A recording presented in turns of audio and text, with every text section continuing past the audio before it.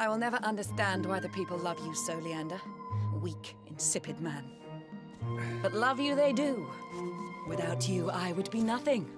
That is what they whisper, is it not?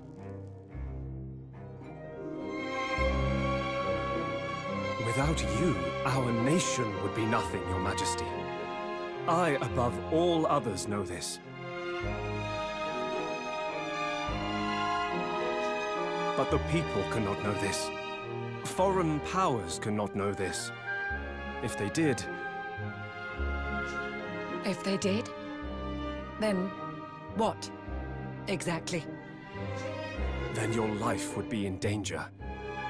Malign forces would plot your downfall. This is the way of power. So I put myself forward. If the people see me, deal with me, they can only become discontented with me, can only wish to harm me. So all that you do, you do for your queen. You would give your life for her without a moment's hesitation, yes? Not without reason, your majesty. But if it might prolong your life for a single second, that would be reason enough. Such a death would bring honor upon me, upon my entire line. Insipid you may be, but you are occasionally amusing.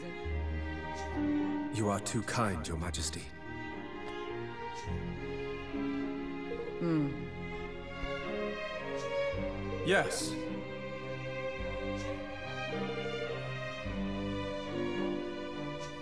Hmm.